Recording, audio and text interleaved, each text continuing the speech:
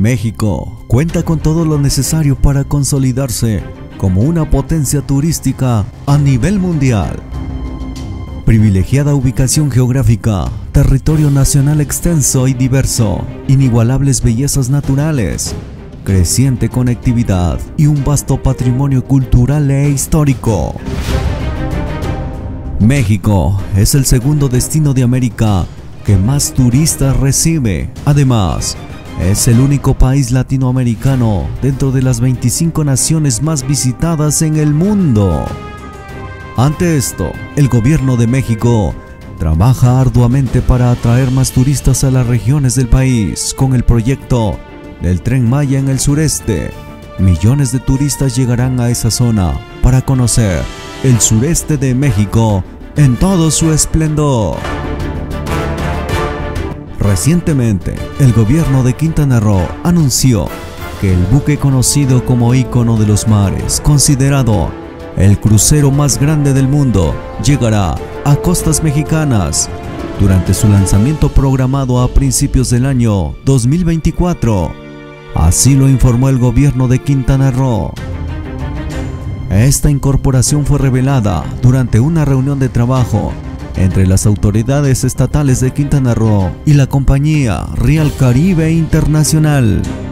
La naviera, representada por Michelle Bailey, presidente, y junto con el secretario de Turismo del Estado, Bernardo Cueto, y el director general de Administración Portuaria Integral de Quintana Roo, confirmaron que Cozumel y Costamaya en serán los puertos de atraque de este imponente buque de 365 metros de largo y un peso aproximado de 250.800 toneladas.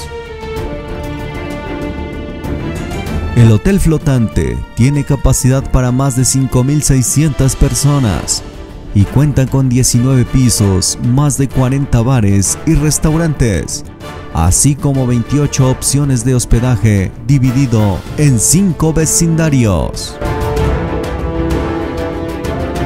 El secretario de Turismo del estado de Quintana Roo señaló que las salidas del buque, el ícono de los mares, partirá desde el puerto de Miami, Florida, y los itinerarios variarán según la fecha elegida por los pasajeros.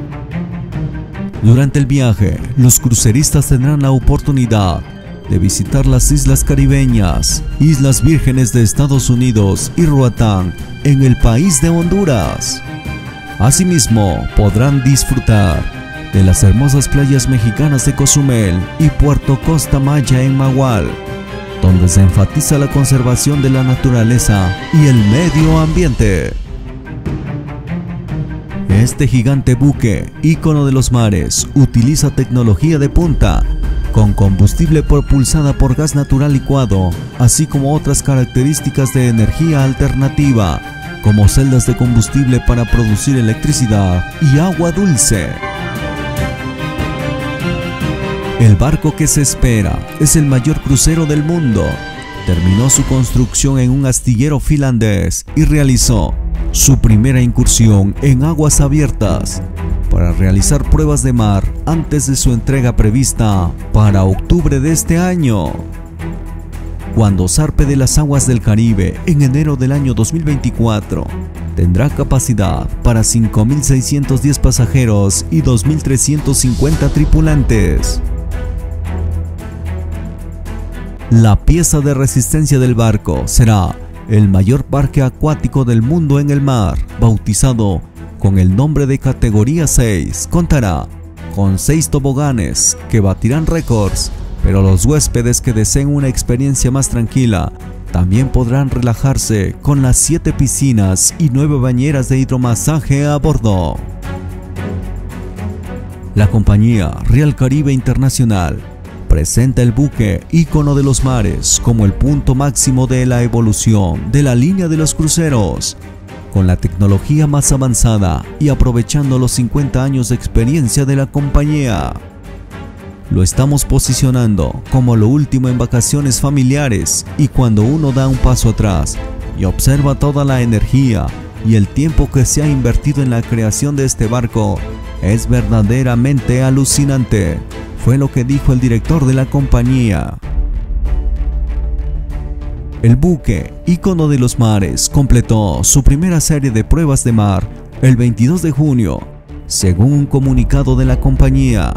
El ícono de los mares recorrió cientos de kilómetros, en los que se comprobaron los motores principales, el casco, los sistemas de frenos, la dirección, el ruido y los niveles de vibración.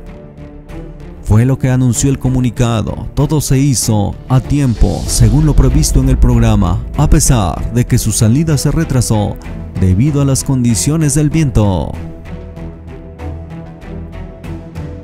El barco promete más de 40 formas de cenar, beber y entretenerse, muchas de ellas incluidas en la tarifa del crucero.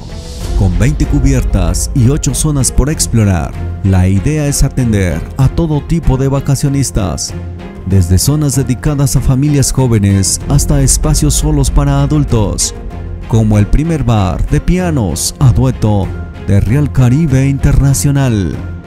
Hay 28 tipos de alojamientos diferentes, con más categorías para familias, más distribuciones con vistas al océano y más espacio para viajeros en grupo. La naviera dice que es el periodo más largo que ha dedicado a diseñar la base perfecta.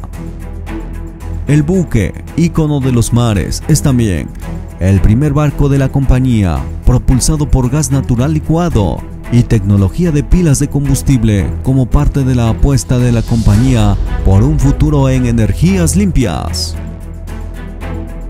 Este será el gigante barco más grande del mundo que visitará México en específico en el estado de Quintana Roo, en enero del 2024. Y con esto se abren las puertas para conocer la ruta del tren Maya, que ya estará operando en el sureste mexicano.